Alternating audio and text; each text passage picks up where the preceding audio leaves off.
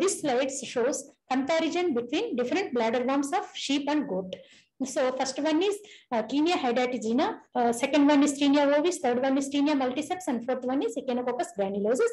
So Cysticercus tenuicollis is the bladder worm of Taenia hydatigena mainly located in the liver, omentum and uh, mesentery.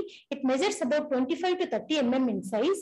And second larval stage is Cysticercus ovis. It appears like a small oval sac-like uh, structure filled with clear fluid and uh, it mainly uh, measures up to 10, 10 mm in size and it is mainly observed on heart, diaphragm, tongue, muscles and walls of esophagus and walls of stomach and uh, other muscles. Then uh, Coenurus, this is a bladder filled with many scolices.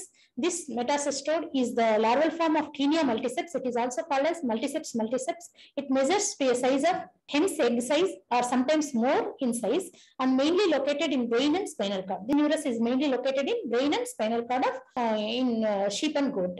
Then hydatid cyst. This is the uh, metacestode of Echinococcus granulosus, which mainly measures about 2 to 6 centimeters in size and mainly located in liver and lungs. So normally we found two types of hydatid cysts in the animals. One is fertile cyst and the other one is sterile cyst. Fertile cyst can produce, able to produce brood capsule with protoscolices, whereas sterile cyst means they are unable to produce protoscolices.